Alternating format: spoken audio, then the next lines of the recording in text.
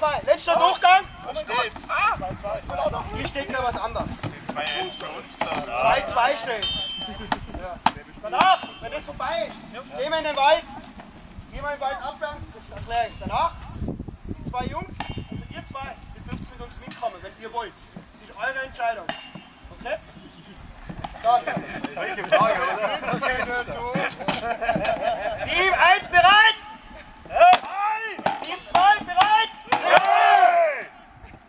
Kommando, gell?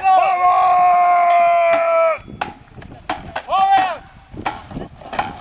Jetzt Busch!